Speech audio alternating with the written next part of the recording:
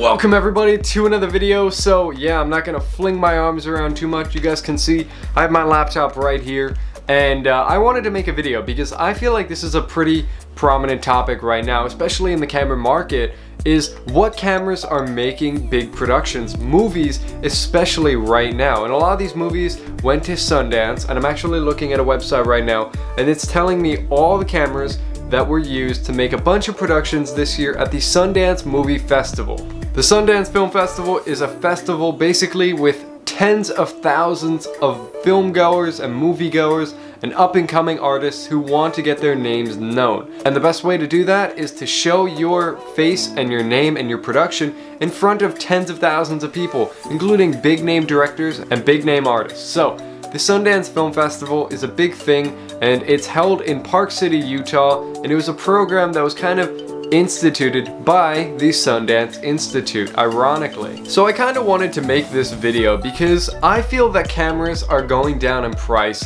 a lot. If you guys are looking at a lot of the cameras nowadays, say you wanted to look at the Blackmagic 4K pocket camera. That thing is like under $5,000 I believe, and it's a super portable, basically cinema grade camera. Now, no, it's not gonna match up to the ARRI Alexa or the Red Hydrogen 1 or whatever, whatever it's, I think that's a phone actually. So it's that's not the camera, but Red makes really, really expensive cinema grade cameras. So the Blackmagic 4K pocket camera is basically meant to be a cinema camera in your pocket but it's not going to be $50,000 quality. But you're still going to get great quality. And I feel like that's a valid point because a lot of movies nowadays are being produced with smaller rigs, smaller cameras, cheaper cameras. So I figured let's look at some of the top name films that were shown at the Sundance Film Festival recently. Let's get right to it guys. So the first movie was Before You Know It, by John Kang. I hope I'm saying that right. It was filmed on the ARRI Alexa Mini, and it's that's a small rig, a cheap small rig compared to some of the bigger, heftier rigs and it's shot in 3.2K ProRes 4444 using the lens of the Cooke S4i. The cast was made up primarily of women, and Kang is quoted as saying that the S4i has a very pleasant way of compressing people's faces, even at wider focal length. I chose the Alexa Mini because of its size and inbuilt ND filters. ND filters are very very helpful for any shooting situation for the most part, and they're incredible if they're built in, rather than having to pay to get external ND filters. It's so much easier and more convenient to have them built in and luckily the ARRI Alexa Mini does come with them built in. Kang then went on to say, I like keeping my camera as compact as possible so that it does not seem imposing to the actors and it allows me to move quicker, which is a valid point. So the second movie is Big Time Adolescence, with the director of production being Andrew Huebscher, and it seems that he also shot on the ARRI Alexa, but this time it was the Alexa Mini and the ARRI Alexa Amira. So the Amira is a larger camera, I believe, more expensive, but he went with a two camera setup rather than just using one. Andrew is quoted as saying, they wanted a distressed filmic quality that felt authentic and analog. That is why they shot in 2K ProRes 4444 on the ARRI Alexa Mini and the ARRI Alexa Amira. So that's kind of odd that they would shoot in 2K rather than 4K. Supposedly though, they opted to shoot in 2K rather than 4K because it gave a more grainy feel, a more distressed, authentic film look. And that's completely understandable. Next up is Brittany Runs a Marathon. The director of production was Seamus Tierney. The film was shot in 4K on the Alexa Mini using three different types of lenses, the Panavision Primo, spherical primes, Panavision 19 to 90 zoom lens, and the Fujinon 85 to 300 millimeter zoom lens. They're quoted as saying, our main character starts with a juvenile worldview. We wanted her world to feel bright and colorful, so we needed a lens that really helped us capture the high contrast nature of that world. As the movie progresses, our main character looks to ground herself in a graceful reality. We chose this collection of lenses so our visual arc could mimic our main character's internal journey. I really like that. Lenses play a big part in movies and any production you're gonna do. If you're gonna choose a larger wide angle lens, you can have a totally different look than if you have a zoom lens that's super cropped. It's totally different in the feel, in the look, in the color, in everything, and I completely agree with that. So coming in at number 4 we have Clemency with the director of production being Eric Branco. They use the Arri Alexa Mini and the Alexa SXT, two Alexa cameras, Using the Cooke Anamorphics lens, they shot in a 2K ProRes 4444 anamorphic. They're quoted as saying that they used the lens because it felt very cramped. We looked at test after test and ultimately settled on Cooke Anamorphics.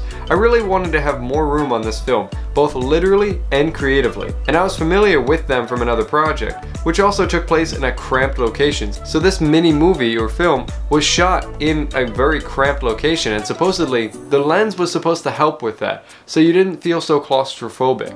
I feel like that's a pretty cool way of going about it, choosing the right lens. Up next, we have The Farewell, with the director of production being Anna Franquesa Solano. I really hope I said that right, but I completely doubt that I did. So it was shot in the Arri Alexa Mini using the format Arri RAW, and the lens was the Zeiss Master Primes. So they're quoted as saying, We considered the option of shooting on anamorphic to be able to frame a large number of characters, but after doing some tests in Beijing, we ended up going with spherical because we wanted to have the freedom to fill the frame and not have distracting distortions or limited depth of field that would restrict the blocking. Another key factor was the physical limitation of apartments in China, which are often very small. In the end, our decision to use Master Primes and Alexa Mini was as much about fulfilling our visual language as it was making it work practically on set. Hmm, pretty cool, pretty cool. Every lens and every shot and every camera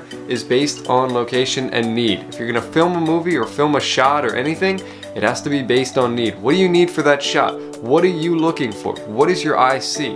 What do you want? Everyone has to choose a lens and a camera and a location. But if you already have the location, that's where you choose the lens and the camera. So I've reached a point where I'm actually kind of annoyed. So the reason I'm annoyed is because I haven't seen a single red camera.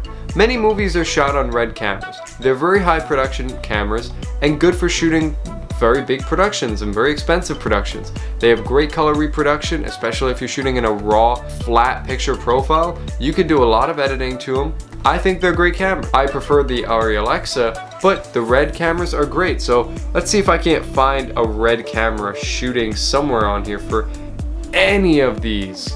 So I've actually come across something, not the red camera, but a different one. It's for a shooting or film called Luce. The director of production is Larkin Seiple. They used a Panaflex Millennium XL camera. Pretty creative, not gonna lie. Completely different, I've never even heard of the camera. They used a 35mm format and the lenses were the Panavision Primo E- and the G series lenses. Pretty cool. So they're quoted as saying, from the very beginning, shooting on 35mm was the only real option we've considered. I've shot all my features on film, and it's simply the look that feels the most truthful and exciting to me. With Luce, the goal was to create an aesthetic that had a bit of heightened gray, edgy reality. Larkin came up with a great description for it, punchy naturalism. It meant something that still felt grounded, yet was cinematic. In this case, with saturated, contrast-rich images. That's pretty cool. They didn't use the Arri Alexa and they also didn't use a red camera. I find that to be completely different, off the board. I'm not sure if it was because they didn't have the money for an Arri Alexa. I'm actually gonna look up the price of this, uh, this camera really quick, tell you guys how much it is. So I just spent 10 minutes looking. I can't find anything on this camera. The first thing that comes up is a Panavision website. It shows no prices anywhere. So it seems that they shot on the Panavision Panaflex XL1, or the XL. However, the Panavision Panaflex website does not show the XL1. They only seem to show the XL2. So that's kind of annoying. I keep looking and I can't find anything on the website. I can't find it on eBay, on Amazon. I can't find this camera anywhere. So I'd have to guess it's very hard to get and it's probably pretty expensive if it's this rare. So if you guys want to read the entire article, there's like 52 of them all together that you can read, 52 movies. Each of them has a little blurb, maybe a paragraph, and it also shows the camera, the lens, the resolution, the format, the director, the director of production, and the blurb. So I find this was pretty fun and pretty cool, a totally different twist on what I normally do on my channel. And hopefully soon I'm going to be changing it up and doing more stuff like this, going online, doing some more research on different things. If you guys want to hear more or see more, definitely be sure to let me know down below, leave a comment, and uh, you guys can see right here there's a box. Yeah I just like covered it. But that box is gonna have something special in it and I'm gonna be doing a video very very soon with it. So no it's not camera equipment. It's not technology at all. You guys are gonna have a hard time guessing this. It's gonna be something fun. It has to do with food. If you guys can take a guess feel free to take a guess down below but thank you guys all so much for watching. It's been Mikey. Peace guys